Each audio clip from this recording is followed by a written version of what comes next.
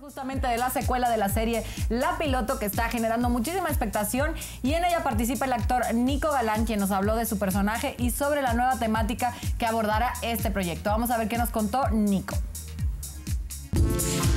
Wilmer, el hacker en la serie La Piloto, se siente muy afortunado de seguir participando ahora en la segunda temporada, donde por el bien de la sociedad ya no se aborda el narcotráfico, sino la mafia rusa que vive en Los Ángeles y cada vez más comercializa con gente, en especial trata de blancas, y pide al público estar muy alertas a tanto avance tecnológico, sobre todo para proteger su información personal. Cualquier tipo de contenido que tú tengas en tu celular ya es contenido que es de alto riesgo, incluso, por ejemplo, hoy en día mm, la mayoría de los smartphones ¿no?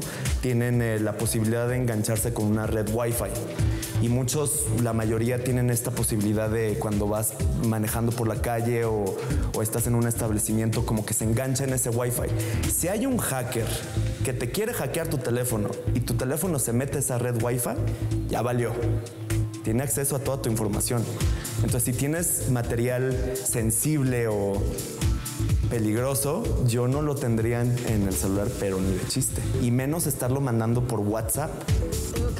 Por otra parte, el actor Nico Galán adelantó que el 17 de agosto estrenará la película Plan B, una historia en la que muchos jóvenes millennials podrán identificarse y dice el por qué.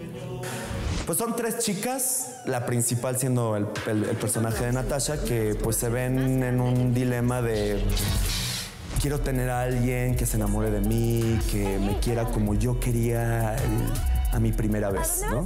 Entonces se les ocurre, ah, vamos a buscar a chavos que sean vírgenes para que nosotras seamos la primera vez de ellos. Entonces ya estén embobados con nosotras. Entonces van y hacen todo este plan para ir a casar a vírgenes, ¿no? Y por lo y por, eh, por, la otra parte pues están todos los geeks que pues son vírgenes y está toda la parte de la tecnología y de la robótica que es como temas muy padres.